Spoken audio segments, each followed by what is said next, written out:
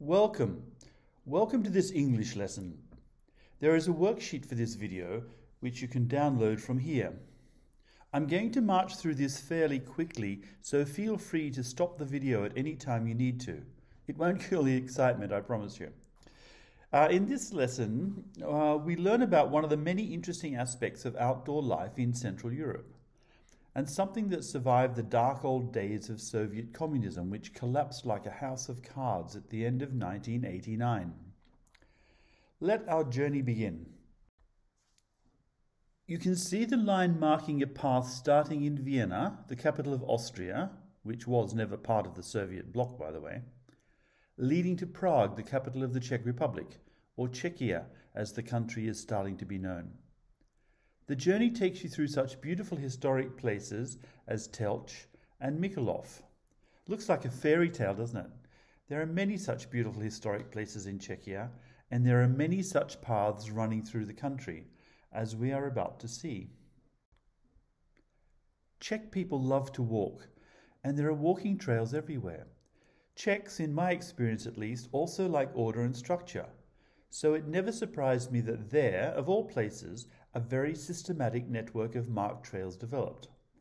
Not only through forests, but across towns and cities as well, all over the country. Now, like all good systems, color coding is key red for difficult trails, blue for significant trails, green and yellow for people like me. When you're out and about, you see these color coded markings everywhere. It's pretty hard to get lost, especially if you're following a map as well. And there is no shortage of maps. With Czechia being one of the most wired places in the world, it's hardly surprising that the paper maps we love to spread out on the ground also have their digital versions. There is a version for foreigners called Windy or Windy Maps. What do you think? Windy like the wind blowing or windy like not straight? The trail winds around the hills or through the forest. I vote for not straight. Windy. Like all good ideas, color coding trails has spread far beyond the Czech borders, and often with the help of Czech people. Nearly identical systems exist in the neighboring countries of Austria and Poland. The Czech hiking markers standard is now an international system of hiking markers for tourist trails and is used in more countries than any competing system. So now it's time for you to listen to a short text and answer some questions. Got your pen and paper ready? Or your digital equivalent? Here are the questions.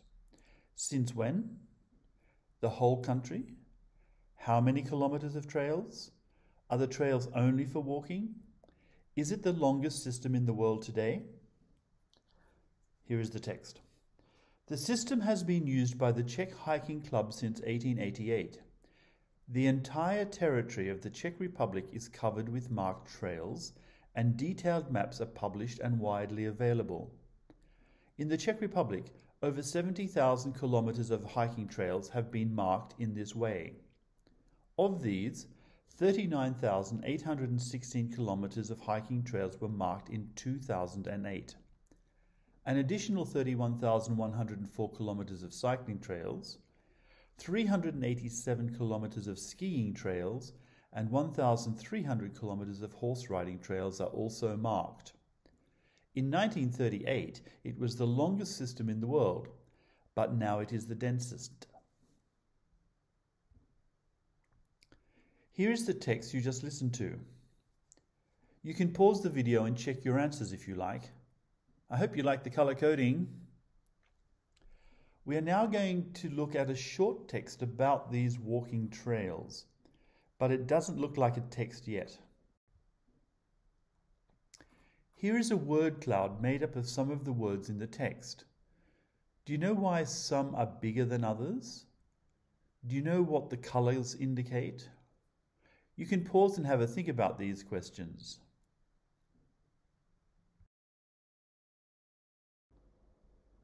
The word cloud is made in a little program called VersaText, and it uses size to indicate frequency. This means that VersaText makes the words which the author used a lot bigger than the words she used less often. You can also get a pretty good idea of what the text is about, can't you? Well, we've already been talking about the topic, so we have a pretty good idea anyway. And the parts of speech are color coded. When you make a word cloud in VersaText, you can even choose which parts of speech to show. For this word cloud, I chose only four parts of speech. Do you want to pause the video and figure out which ones? The meaning of the text, any text, doesn't just come from words. Very important are the combinations of words. Can you find any pairs of words here that you would expect to go together in the text? Sometimes you get pairs of words that make compound nouns, and others which create phrases. Sometimes you find a verb and noun or an adjective and a noun that collocate.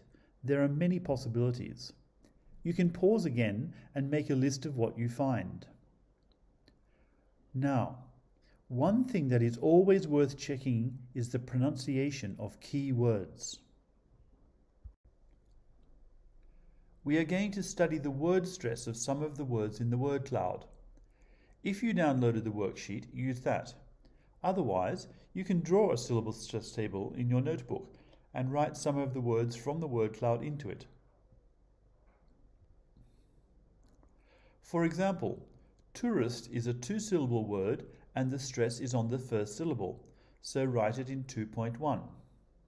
Professional has four syllables and is stressed on the second, so write it in 4.2. Here are some of the words that you can write into the table.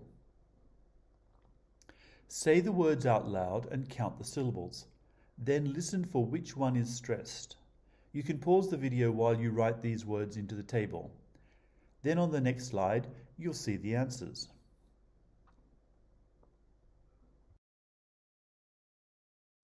Here you go. How did you do? Pause the video again and check your answers. You probably got them all right, didn't you? But if you didn't, you know which words you now need to focus on. The important thing is that before you start working with the text, you are confident of the keyword's pronunciation. It's very important. Another very important thing we need to know about keywords is how they are used. As the big words in the word cloud revealed, keywords are used multiple times in a text. And here they are. When you click on a word in a VersaText word cloud, it produces a concordance, which is what you can see here. This is all the uses of the word in the text. So if you want to know what the text is saying about a key word, this is the best way to find out. And if you want to learn how to use a word, you can see the words and phrases that surround it. This is called co-text.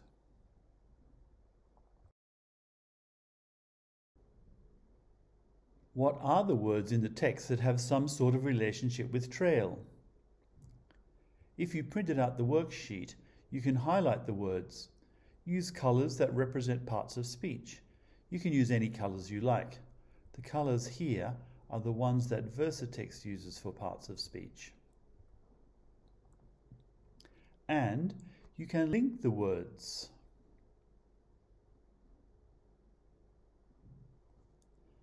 And when we take the text away, we are left with this amazing constellation.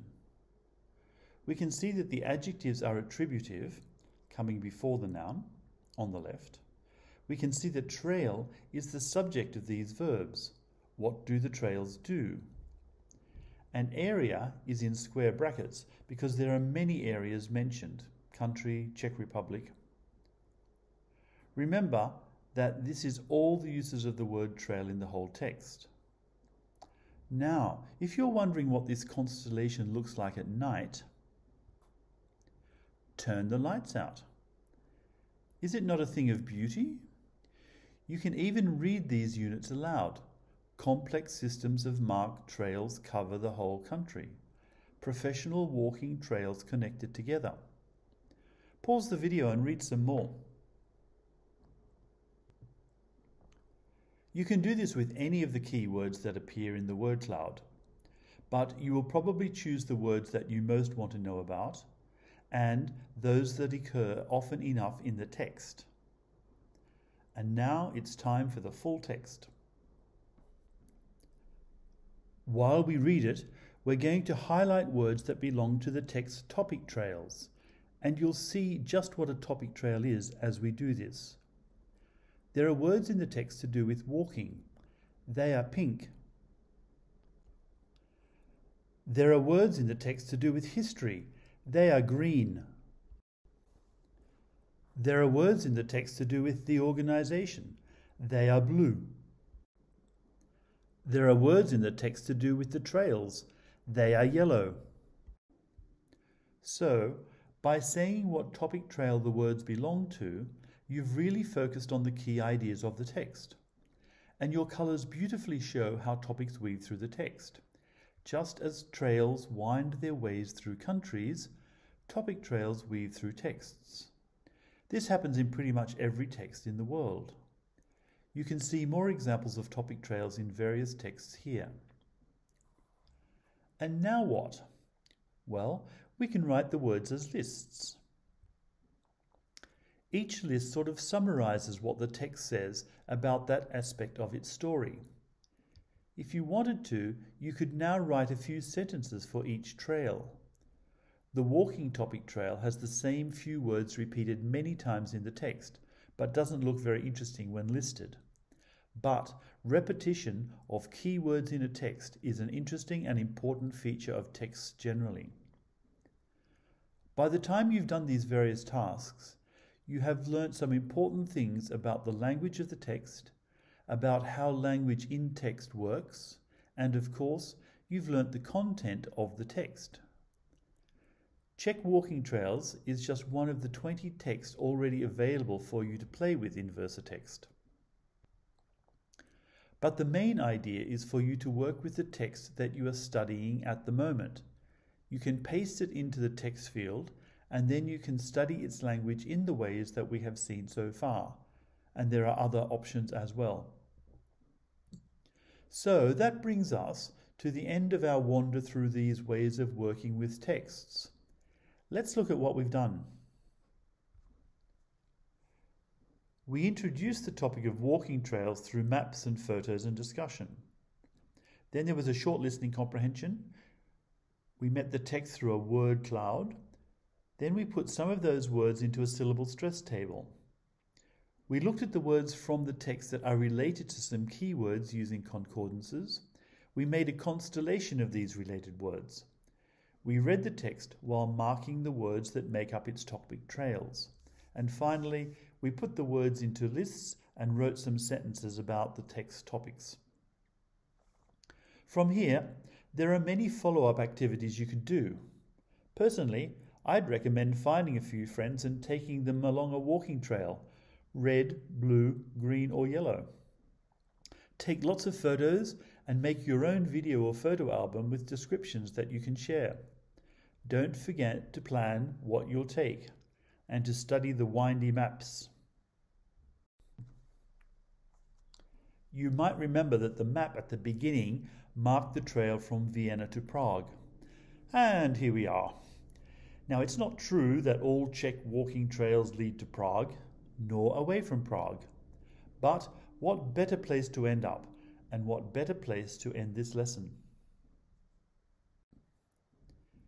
If you are interested in learning and teaching language in colourful, stimulating, creative, and original ways, I can think of nothing better than the Versatile Blank Book. Check it out. I'm checking out now, going to do a bit of serious study before I put my hiking boots on. Bye bye.